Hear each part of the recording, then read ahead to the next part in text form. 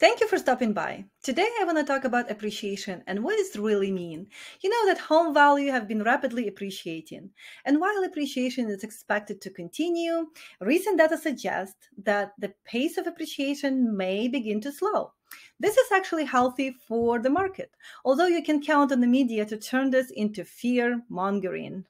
Let's remember that positive appreciation means home value will continue to rise. A slower rate of appreciation does not mean that prices will drop. It simply means that they will rise at more modest pace.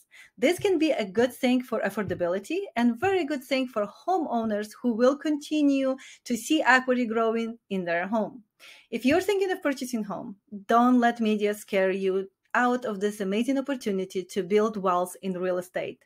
Reach out to me today and let's get started.